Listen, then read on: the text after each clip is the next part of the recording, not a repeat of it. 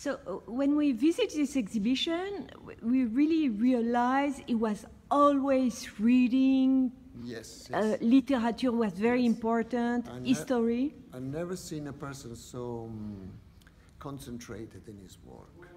He loved to to see was full of curiosity for everything, Yes.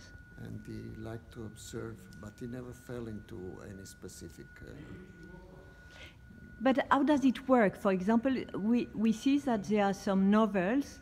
So w- he takes the title of a novel to create a painting. what he did, he read a lot, and what he, the impression he had, then he worked on it, and um, he had a specific way to paint.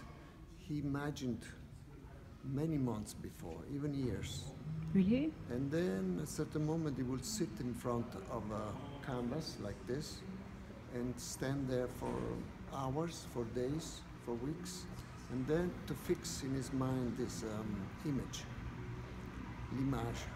Yes. So the And first. So when he got in his photographed in his mind that image, then he would work very fast.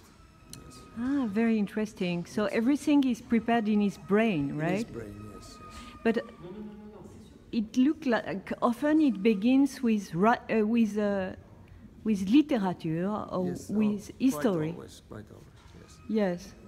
You know, it's an, in a poetic sense or a metaphor. A metaphor.